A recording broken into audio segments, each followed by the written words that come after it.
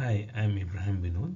This is an accompaniment video with the paper titled Projection-Free Computation of Robust Controllable Sets with Constrained Zonotopes. As a practical application of the proposed method to compute robust controllable sets, we considered an abort-safe spacecraft rendezvous example. In this example, we required a spacecraft in the final approach to a docking station to rendezvous with the docking station such a way that it retains the ability to abort.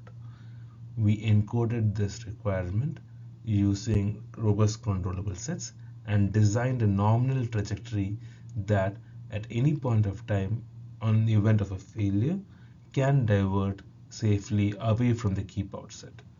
If no failure occurs, the nominal trajectory proceeds towards the target.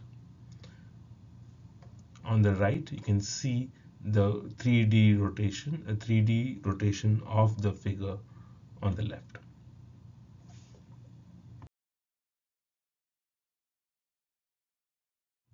Thank you for your attention.